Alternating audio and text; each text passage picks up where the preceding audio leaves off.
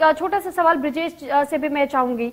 ब्रिजेश, जिस तरीके से तस्वीरें सामने आई है और बहुत तेज़ी से सोशल मीडिया पे ये तस्वीरें वायरल भी हो रही है, इन्हें रहस्यमय रोशनी का नाम दिया जा रहा है। इसके पीछे रॉकेट भी बताए जा रहे हैं, साथ ही साथ कोई इसे उल्का पिंड कह रहा है।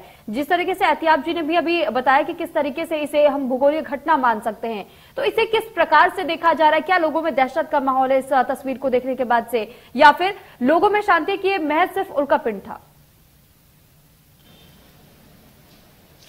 देखिए, कल रात से रमज़ान की शुरुआत हुई है और रमज़ान का चाँद देखने के लिए काफ़ी लोग घरों के ऊपर अपने मोबाइल लेकर बैठे हुए थे। उन लोगों ने ये तस्वीरें ज़्यादातर लोगों ने कैद की हैं।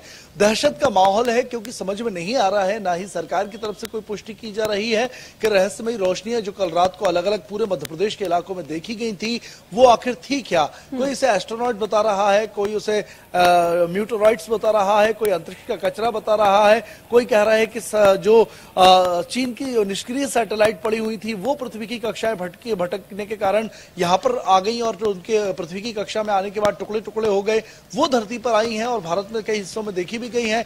महाराष्ट्र से कुछ अज्ञात मलबा बरामद करने की भी बात की जा रही है। अमेरिका ने यह भी दावा किया है कि ये चीन की सैटेलाइट थी। कुछ लोग इसे एलियन विमान बता रहे हैं। तो कहीं ना कहीं कौतूहल है और एक खौफ का वातावरण भी लोगों में है लेकिन सरकार की ओर से कोई बयान सामने अब तक नहीं आया है ना ही राज्य सरकार की ओर से ना ही हमें अब भी सरकार के बयान का इंतज़ार करना पड़ेगा। एहतियाब और ब्रजेश आप दोनों का बहुत ज़्यादा धन्यवाद।